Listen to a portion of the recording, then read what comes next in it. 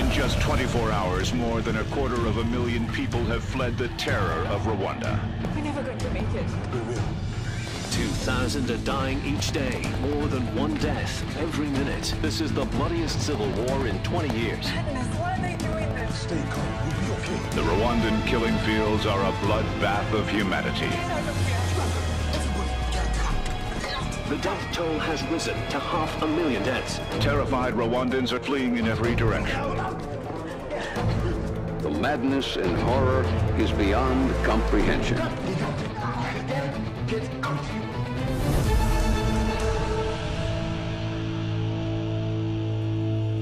No man knows how or when his test will come, nor how far he will go to protect those he loves.